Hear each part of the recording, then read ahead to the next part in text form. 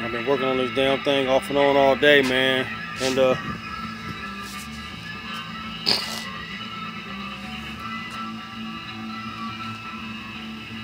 as you can see,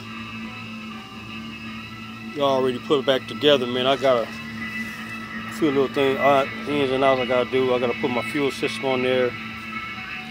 You know what I'm saying? Put my belt on there and all that little little knick-knack little bullshit.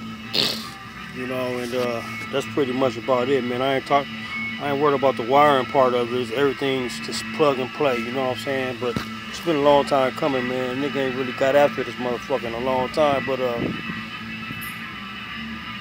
I just felt like it. You know.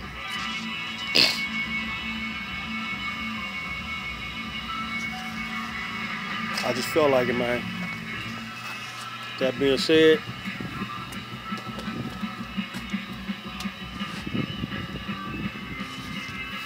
Thirty or 30 over, 5.3 LS motor, stage two cam in it, aftermarket headers on the motherfucker. Y'all know, me y'all that know that know me and know how I build cars, y'all know I don't do stock. I ain't did stock in shit. I don't know in the eight since the 80s.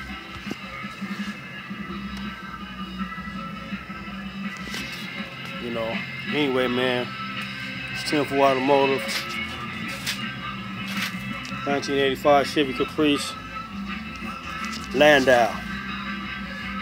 I'm gonna put it out in a minute, man. I still got some. I got. I got. I got. A, I got a little ways to go though.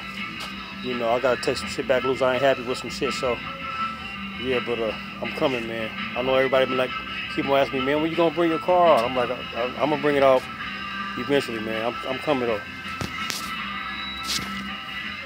And I'm out this bouncer, man. Catch y'all on this one, man. Oof.